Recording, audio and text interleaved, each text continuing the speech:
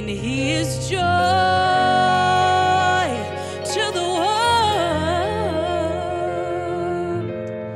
He is still.